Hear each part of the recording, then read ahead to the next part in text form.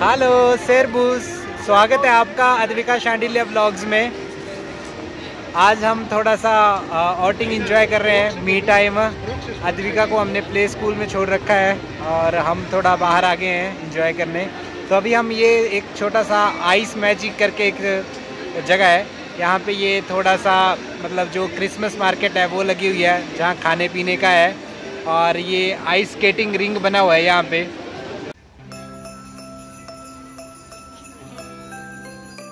अभी हम ऊपर खड़े होके ये नीचे का जो आइस स्केटिंग रिंग बना हुआ है, इसका नज़ारा ले रहे हैं। यहाँ पे आप स्केटिंग कर सकते हो।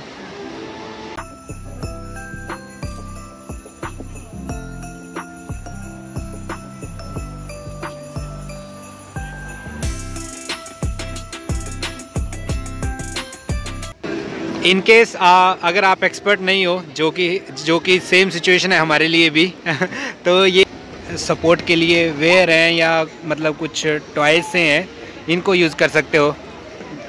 जब मतलब आपको स्केटिंग करना इंडिविज इंडिपेंडेंटली ना आता हो।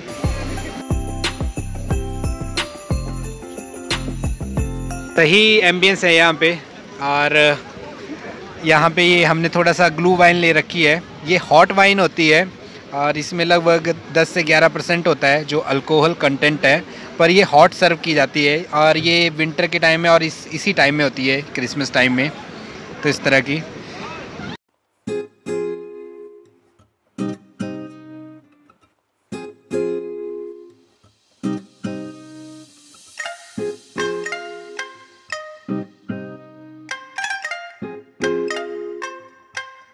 ये इस तरह से हाइट पे बना हुआ है, नीचे शॉप्स हैं जहाँ से आप खाने के लिए ले सकते हो और यहाँ पे फिर खड़े होके मतलब आप जो ड्रिंक है और जो खाने का है उसका एंजॉय कर सकते हो और नीचे फिर आइस जो स्केटिंग रिंग है उसका व्यू है।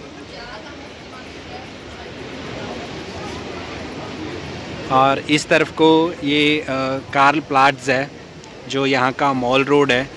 जो यहाँ से लेके मरीन प्लाट्स की तरफ़ जाता है। तो ये कार्ल प्लाट्स पे ही है, जो आइस स्केटिंग रिंग है।